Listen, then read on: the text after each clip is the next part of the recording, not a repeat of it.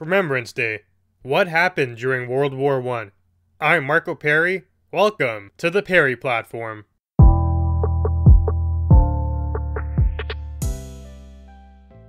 Today we celebrate Remembrance Day. It marks the end of World War I, and I thought it would be a fitting moment to do a little bit of remembering. Today we're going to talk about World War I, but before that, Remembrance Day. It's meant to serve as a day where people pay respects to the members of the armed forces who fought for the freedoms that we hold dear. In Canada, it's a statutory holiday in all territories and six provinces, except for Nova Scotia, Manitoba, Ontario, and Quebec. If you're from those provinces, it's not a statutory holiday for you, unfortunately. So now let's dive in to World War I. There's a lot of cool details and facts about it that maybe we're forgetting about. It's the perfect time to do some remembering. So, according to the Canadian Encyclopedia, it was the bloodiest conflict in Canada's history. More than 60,000 Canadians died. The conflict started in 1914 with the assassination of Archduke Franz Ferdinand. He was the heir to the throne of Austria Hungary, so it's a pretty big deal. Think of Game of Thrones. If the prince got killed, Cersei would go to war for that quite easily. This is what triggered the war. He was the heir to the throne, and tensions in Europe were pretty high even prior to the assassination. That was the tipping point, though. After that, all hell broke loose. So Austria Hungary blamed the Serbian Empire and the Serbian government for the attack. From here, all the chaos stemmed forward. Russia supported Serbia, so Austria was kind of reluctant to really go at them right away. They didn't want to take on those two guys alone, so they needed their own backup. This came in the form of Germany, Germany gave them a form of insurance, basically saying if you go to war, we have your back. So, with that in their pocket, Austria felt a little bit more confident and they went to Serbia and gave them an ultimatum. This is before the war even started. The option was they allow Austria to perform their own investigation into the assassination, they have to also suppress anti Austrian propaganda, and they have to take steps to eliminate terrorist organizations on their border because they suspected that the terrorist organizations were the ones responsible for the assassination. If Serbia did not want to comply with that, there was option two, which was basically combat. Serbia was given 48 hours to respond, and I'm sure you know what happened. They did not comply. They felt that Austria Hungary was already readying for war, so they took measures into their own hands as well, and they went to Russia. They tried to ready their own forces. They weren't wrong though, because soon after, Austria did in fact declare war, because the terms in that ultimatum were not met. Looking back, it would be interesting to see what would have happened if they did agree to those terms, but that's neither here nor there. Maybe in the hypothetical world, it could have been a possibility, but instead we got World War One. So Russia and Serbia brought in more allies, and early on it was Russia, Belgium, France, Britain, and Serbia versus Austria-Hungary and Germany. This is where Canada gets involved too. So we didn't choose to enter the war based on our own accord, but we did have an allegiance with the British government, and since they were involved, we were basically involved too. That's the deal here, and you could say that we had no choice in the matter. Shortly after the fighting began, and Germany was fighting on two fronts from the very beginning. They tried to invade France at the same time they went after Russia. Two different fronts that they were fighting on. Germany was technologically advanced and they steamrolled through Belgium to get into France. They actually penetrated France a little bit before they were held off. So once they got into that, Britain came to France's defense and they created a joint effort and they were able to hold back Germany's advances, but many lives were lost on both sides. The estimates are in the millions. On the other side of Europe, Russia was pushing into Germany, but they were soon stopped by a German and Austrian force. You can just imagine death and destruction on both fronts everywhere you look east or west, people are getting slaughtered by the thousand. And each party is looking to get another inch on the opposition, slowly creeping towards that capital to take you over. Very scary times. So Russia didn't do too well soon after that, and their own people started to rebel actually. It was an internal struggle, as well as the external war efforts pushing in on them. They experienced defeat in the battlefield one too many times, which was partnered with bad economic conditions and a lack of resources. People were having a hard time feeding themselves. There was not enough to drink. They were losing battles in the war. The economy was terrible. There weren't many jobs. That's a recipe for a revolt. Eventually, a full on revolution did break out, and now Russia was trying to contain the internal turmoil while trying to balance things on the battlefield. It was a disaster. Now, back to Canada. It felt like for a brief period of time, the left and the right parties were united in a common effort. The conservative government was urged by the liberal opposition to take powers under the War Measures Act.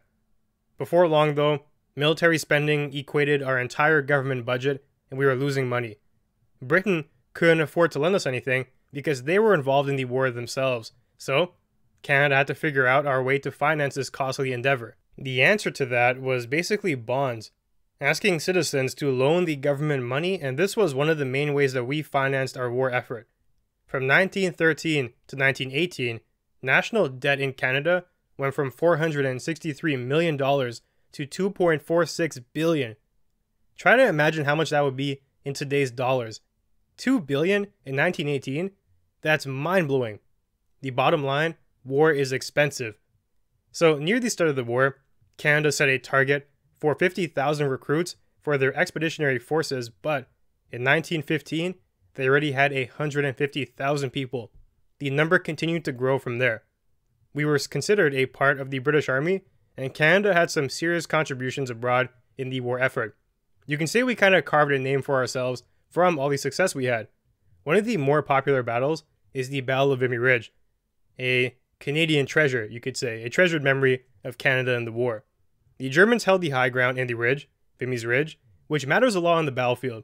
When you have the high ground, you can just fire downwards at people trying to run up at you, and it also comes with a strategic cover and allows you to just mow people down. It's very advantageous. This area was once regarded as a seemingly impenetrable fortress by the Allies, until Canada came in. In five days, we took it. The Canadian Lieutenant General Arthur Currie decided against attacking head on, but instead he diverted to a nearby hill. He was trying to flank them. They took position on top of the hill and mounted up. They started to fire back at the opposition, and from there they expanded. This removed some aspect of the high ground benefit that the Germans had. Massive losses were held across the board, but it was a victory for the Allies, and Canada showed their might and their ability to contribute. It's said by some historians that Canada was regarded for very well trained soldiers and their ability to strategize. Here's one example of that flanking around and retaking some form of the high ground. Now let's jump back to Canada. Internal tensions were raising due to conscription. There was an issue with getting troops from Quebec. They called it French Canada, issues getting French Canadian troops at this point in time. People made the case that Canada had done enough, and our interests were not being served by the European conflict. They would rather have our men at home, growing food, and maybe creating weaponry in the factories instead, not on the battlefield. Some people disagreed with that, and they felt we needed to be more involved and we need more numbers. So this tension continued to grow. There were two sides the people who did not want to be conscripted, and those who were considering it. So eventually, a government coalition pledged to enact conscription despite these notions and conflicting ideas. It was called the Military Service Act. 400,000 Canadians were enlisted, but 380,000 appealed it. So not many took it willingly, and as you can see, Canada was not okay with the idea. A lot of those people were not down to be sent off to war against their will. Tensions actually rose so high, it got to the point where anti conscription riots broke out in Quebec, and four people died due to these riots. Now, back to the war. Germany was going strong at this point, and with Russia collapsing due to those internal rebellions, it made it easier for them to expand. That front was looking very victorious for Germany. At this point, though, it was getting late in the war, and years had gone by, and soldiers were getting tired. There was a lot of death, and the conditions were terrible. You were living in a bunker in the ground, surrounded by bodies, blood, bullets, and everything else needed to recreate a living version of hell. It was a terrible time. People were searching for answers and they wanted it to be done quickly. You can also look at what happened in Russia, and I'm sure that played a part in people's mentality as well. They saw that the citizens were getting tired and they were revolting. In Canada, look at Quebec. There were riots that were being held that resulted in some people dying. This had to come to an end.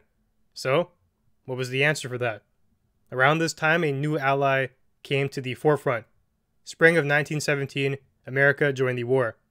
Now, to provide support for the faltering Ally lines, Canada and Australia, who are also involved now, sent further reinforcements, and combined with America, the Allies were now able to muster a force that was strong enough to keep pushing into Germany.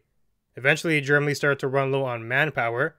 They were depleted in terms of supplies, and with this new ally emerging, they were a fresh combatant. The US, it wasn't looking good for them. As these forces continued to push in, Germany was faced with the distinct possibility of an invasion of their own land. It was looking like a losing effort now, so they had to surrender and they signed the armistice agreement, which marked the end of World War I.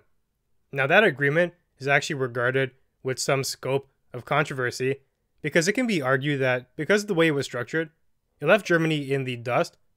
That led and sowed the seeds for World War II, but that's another tale for another time. So, when all was said and done, Canada lost over 60,000 troops and many more returned with severe wounds to the body and to the mind. Imagine living in those conditions and coming back to civilization. It's a big change, and this was before mental services were readily available for people. They sacrificed a lot. If it wasn't their lives, it could have been their mind, their well being, maybe their family relations, the opportunity to grow with their children. All these things were gone, sacrificed to the war for them to secure the victory. Canada did gain a lot of respect from the international community given our involvement, and we did learn some lessons. First of all, conscription, highly controversial, Uh, a lot of people are not going to be down with that notion. The second thing, when the government promises certain things are only going to be for the war effort, they're probably lying. Additional taxes were put on to people in the form of things like higher income taxes and property taxes because that was the excuse. We need more money to fund the war effort, and they'll go away once the war is over. It never went away. And finally, we also learned what Canada is capable of doing. We were a relatively new country at the time, didn't have a lot of time to establish ourselves, and we were going into that as a Britain considered force. We proved our identity at that point, and we carved a name for ourselves. Today, we remember all of that and recall the tragedies of war, hopefully to never repeat such atrocities again in the future. World War III, we do not want that. So, that brings me to the end of today's conversation. If you enjoyed the content, be sure to leave a review and share. You can also find me on Twitter and Instagram at Perri Platform. Thanks for joining me, and I'll see you soon.